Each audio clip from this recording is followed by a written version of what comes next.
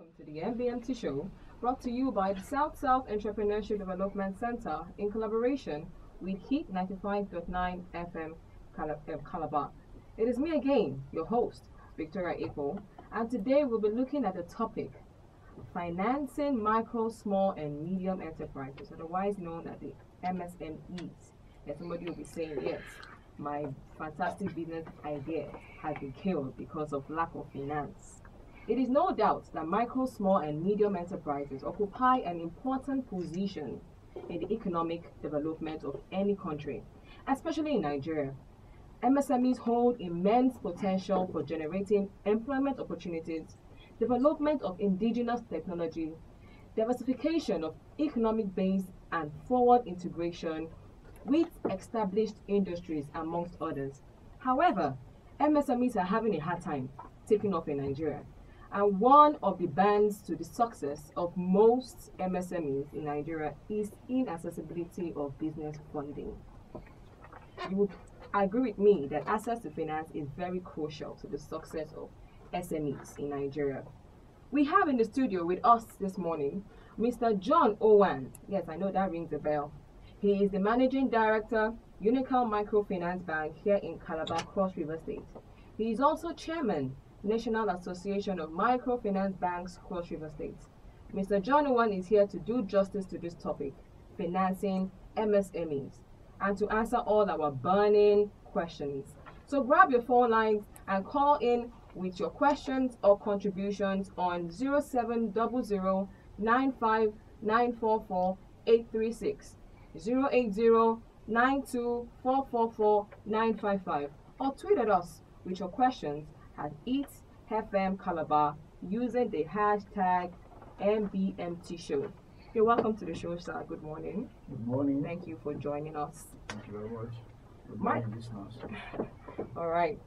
Microfinancing of the agricultural sector was initiated by the Nigerian government through the CBN to improve SMEs in agriculture. So, so what is the role or what role does Microfinance Bank play in supporting micro, small, and medium enterprises in Nigeria? Uh, thank you very much. Um, microfinance banks were specially set up by the federal government for the purpose of looking into the interest of the micro, small, and medium enterprises. Because this uh, type of uh, clientele find it difficult to access funding from money deposit bank or commercial bank as it were. So microfinance banks were specially set up to make it easier for micro, small, and medium enterprises to have access to finance, particularly agricultural enterprises. We know all the risk that is uh, associated with agricultural enterprises. And so the federal government, through the collaboration of central bank, have set up funds to support agriculture in particular at very favorable uh, conditions, interest rate, no collateral, and insurance in case of failure of agricultural enterprises. So microfinance banks are specialized to take care of these uh, enterprises. So be you an agricultural enterprise or any enterprise for that matter, microfinance banks are there for small, small businesses. All right. So, sir, are there funding structures for different sectors of business, say trading and the others? And Yes. what are they? Yes. Uh, because of the various risks associated with some of these enterprises, the CBN has also provided soft funding for agriculture, for instance. Even if you're into commerce, that is trading, there are funds that you can also access for your trading business, agricultural business, even small cottage industries. There are special funds geared towards assisting these enterprises. For instance, I can tell you that most of these funds are single digit interest rates. That is, they fall between 1 and 9% interest rate for this kind of enterprises. But you know, you cannot get this kind of inter- uh, interest in any of the commercial banks. So, special purpose cost for these businesses. Okay, sir. It is very common for startups, especially, to access funds. So, please, sir, are there funds available for startup businesses? Yes, there are. If you walk into any microfinance bank, whether you are a startup or you, have an ongoing enterprises, you can access one.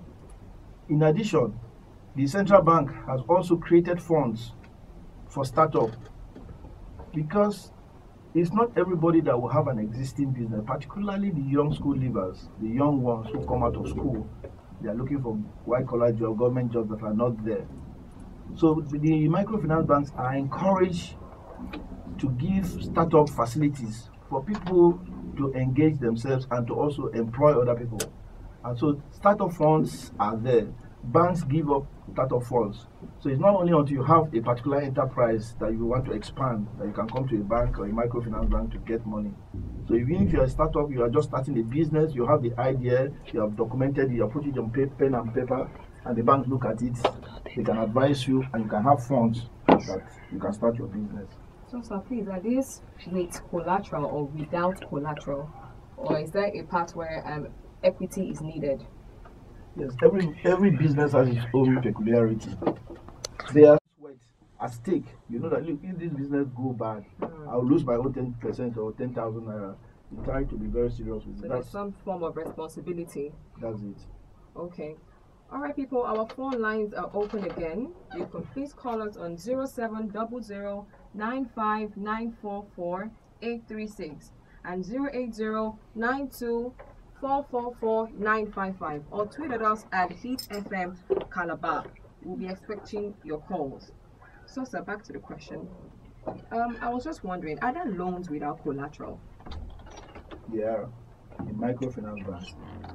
There are several loans that there is no tangible. When I say collateral, there are various types of collateral. You have what we call third party collateral, that is guarantee. I want to take a hundred thousand naira. I call Mr. B or Mr. Mrs. B. Please come and sign paper for me. Oh, this paper you are signing is to say that look, if I don't pay this hundred thousand, the bank will come out for you to pay. Mm. That is a collateral. It's, it's non-tangible collateral. You also have the tangible collateral, like give me something to hold like a certificate fancy, a property, car, or whatever to hold. In case you default, I can dispose of that collateral and recover my money. All right, we have a caller. Our first caller for the day. Hello. Hello, good morning. Please, can you be a bit audible, please? Yes, we can hear you. What is your name and where are you calling from, please? Aldo, okay. Where are you calling from? Okay. Can you go ahead with your question?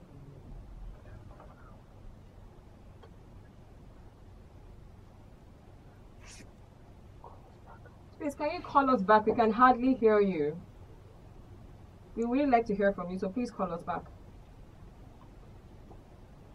Okay, once again, the phone lines are 070 070095944836 and 08092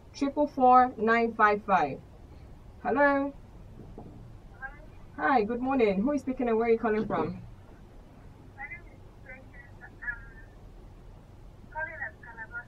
Oh, okay. Good morning, Patience. Can you go ahead with your question?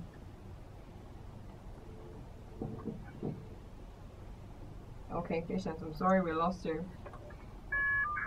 Hello? Hello? Hello? Hello, good morning. Who is speaking, please, and where are you calling from? Okay, good morning, Emeka. Please go ahead with your question.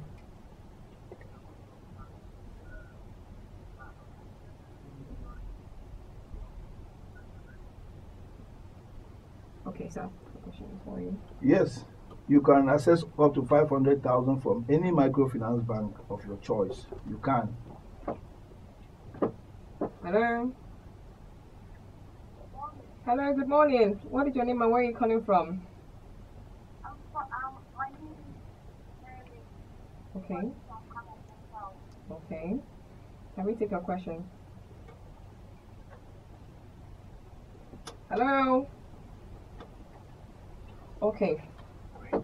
Okay, we'll go on a short break and give you guys some time to call in, okay? We'll be right back.